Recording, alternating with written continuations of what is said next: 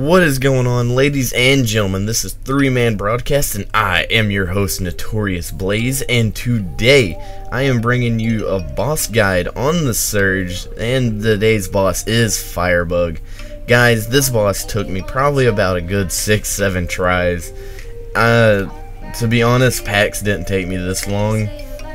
Pax probably, I killed him, I think, the third try just because it took me a minute to figure out how to get him to go into overload mode. So, anyways guys, with this boss, you will notice that he has a lot of legs. You're aiming for the legs at the start. You want to take out at least all of his legs until he's down to 3 to enter the second phase.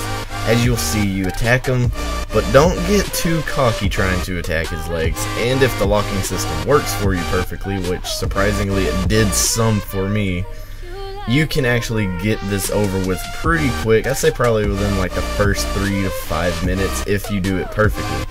But make sure you stay in close proximity, guys. He will pounce towards you or he will shoot you with his rockets, which will set you on fire and do damage over time. And it's not fun, which you just now get to witness it. Another quick tip, guys, be careful and not step under him because he will just like flat out belly flop you, no lie. And it does a good amount of damage. So be warned about that. And just keep on getting, don't get too aggressive, but keep on getting, like attacking his legs, attacking his joints. Just hit him as much as you can. And once you get him down, it will knock you back, letting you know you're entering phase two. Now, phase two is a, this is where the pace picks up a lot more. It gets faster he I don't think he does a lot more damage, but it just really gets faster. So his main three attacks is you have his spiral one still, but it's a lot longer. and then you have his um, flame, his thrusters, which will which will burn you. Sorry about that. Along with the flame lasts for probably a good five to ten seconds on the ground, so make sure you stay out of it. On the second phase, guys, you want to work on your vertical vertical attacks and only your vertical attacks because he is now floating and it's going to make it a lot harder to horizontally hit him. But I will show you that you can do it because I know I've did it several times in this whole entire boss fight.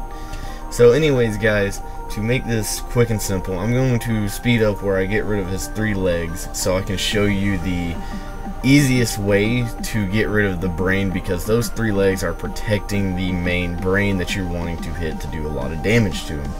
So, let's get to it.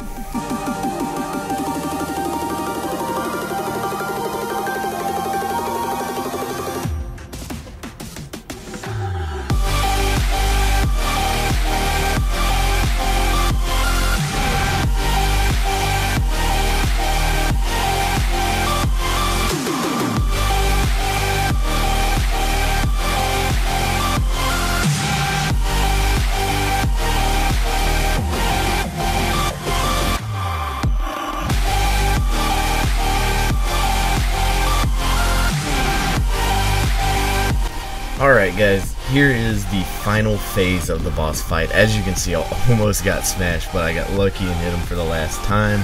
Now this is where he will use his uh, burners and his um, dash at you and smash, okay? Each time that he will, if, if you can get him to smash, after he gets done smashing, after you dodge, dodge quickly into him. I found this out a little later, and it took me just a few minutes to get rid of him.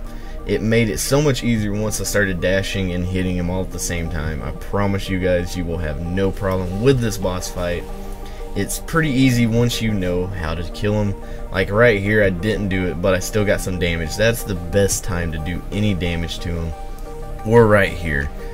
But he will do that right after if you're close. So you gotta be quick which comes with the dash attacks that is what will make this more easier on you and quickly have success. But as soon as you dash attack you dash attack away from them so you can't get any free hits on you. So if you guys enjoyed this boss guide I will be bringing you much more of these things throughout the gameplay that I get to play of this game. I've been enjoying it. I'm loving it. I used to play Lords of the Fallen. That one I kind of got away from it didn't really stand out to me a lot. But anyways guys good luck on the battlefield